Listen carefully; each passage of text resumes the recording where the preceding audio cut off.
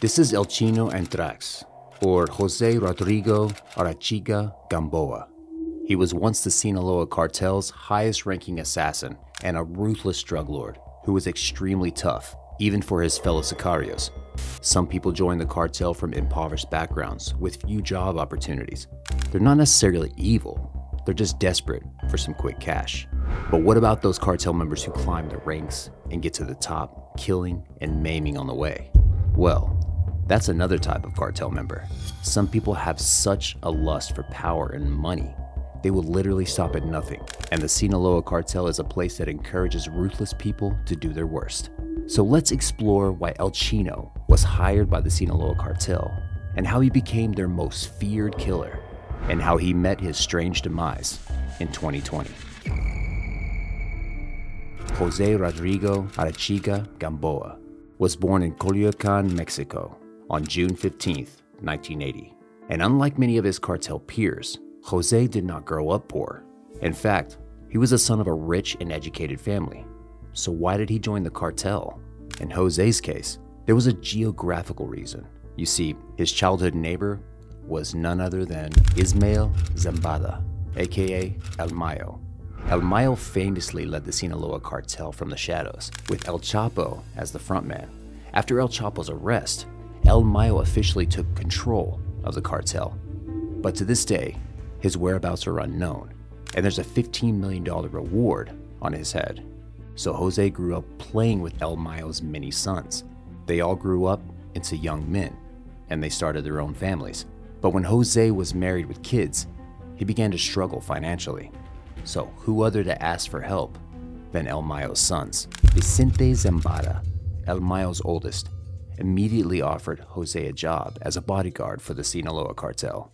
Jose started small, with minute errands for the cartel, but I don't imagine he was doing the groceries.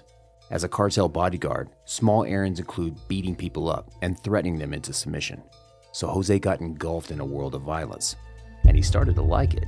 Up until 2008, he worked for the Sinaloa cartel leaders, beating, then even killing their enemies. But 2008 was a fateful year, as there was a big rift in the cartel. Beltran Leyva cartel separated from the Sinaloa.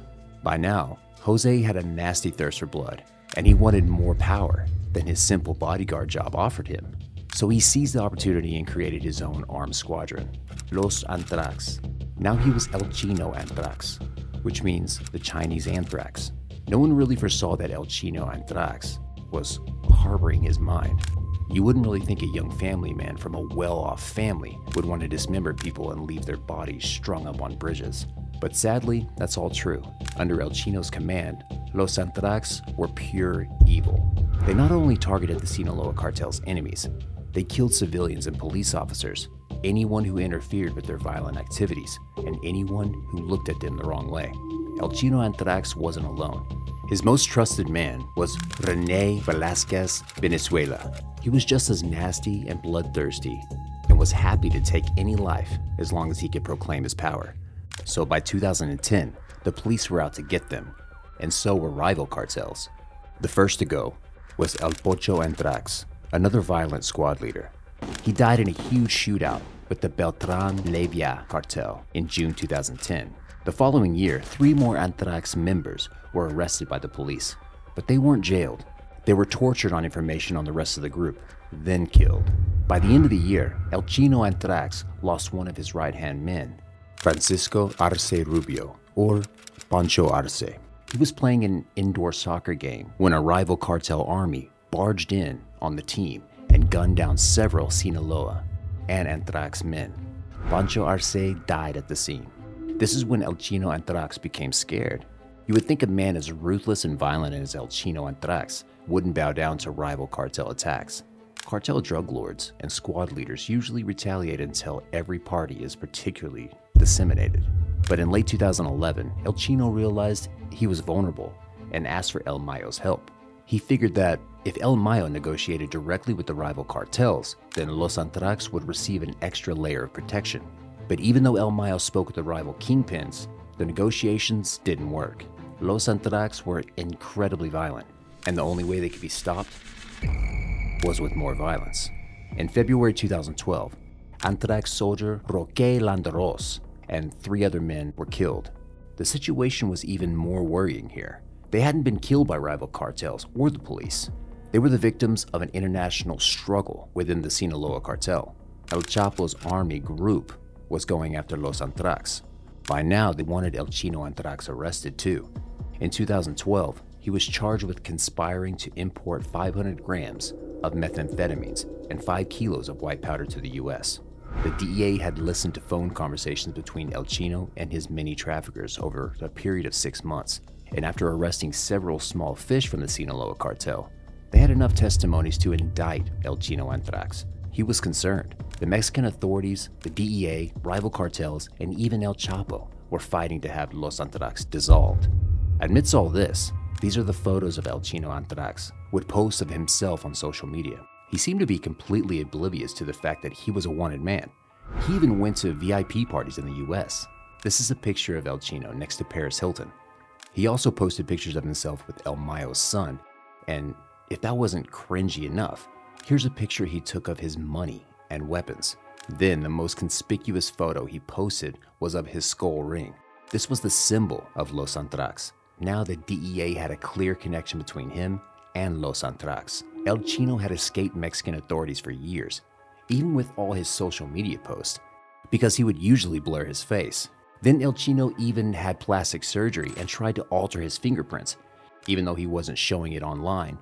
He was afraid, and he was desperate to elude the police. But when the DEA got a hold of his social media profiles, there was no escaping them.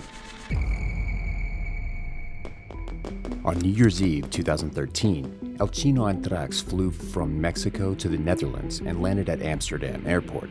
The DEA knew he'd boarded that flight, and they alerted the Dutch authorities. They were thus on the lookout for a Mexican national wearing a glam skull ring. That day, he was arrested inside the airport.